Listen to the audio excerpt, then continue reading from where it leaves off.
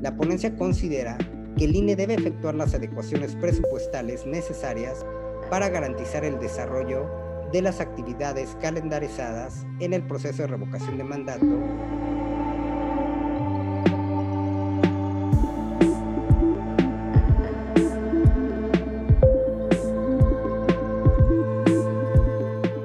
Tiene que hacer un ajuste a su presupuesto, liberar fondos de su presupuesto.